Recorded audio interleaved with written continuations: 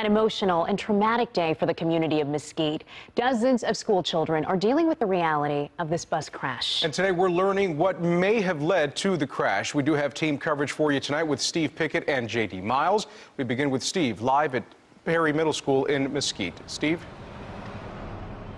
Uh, this report, it is a report released by this police department on this accident. It, it, focuses on, Ken, four witnesses, independent witnesses in cars in and around that bus. And they all talk about the bus veering in some form or fashion, overcorrecting to a point where that bus, according to at least one witness, almost hit an oncoming car.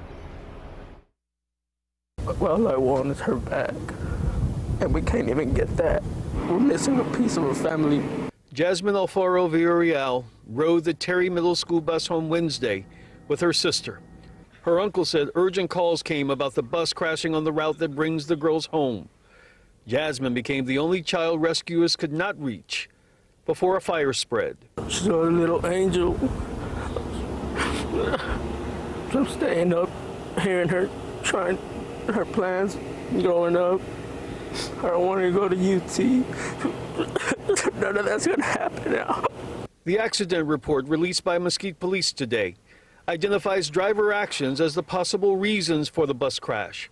Four witnesses report the driver, John Johnson, a seven year veteran for Mesquite ISD's transportation team, veering the bus from one direction to the other in an apparent attempt to correct the bus driving off the roadway.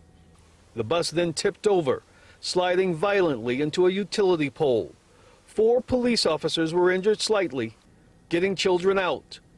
Others also hearing about the driver's efforts as well. From my understanding, the bus driver did kick the windshield in and he was trying to take out, help take out the students along with, you know, everybody, everybody else that was passing by and saw as it happened. Fire that burned the bus may have also blocked rescuers from getting to Jasmine. Obviously, obviously incredibly tough for this family. Uh, that youngster's sister, 11 year old sister, also on that bus. Uh, deeply emotional for all of them today. Police tell us, however, their investigation into this bus crash is not done. That driver, also injured, also still in the hospital. Reporting live, Steve Pickett, CBS 11 News.